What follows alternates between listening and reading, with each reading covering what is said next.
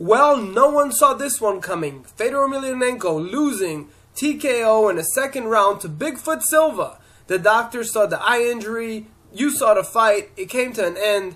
This may be the last fight of Fedor Emelianenko. So, well, first of all, let me know what's your thought about the fight. Secondly, I'd like to know what you guys say about Fedor's career going almost 10 years without a loss, being by far one of the greatest MMA fighters in history. Fedor tonight saying he may call it quits. This may be God's will. But I want to know from you guys. What do you think about Fedor's career? And what do you think about tonight's fight?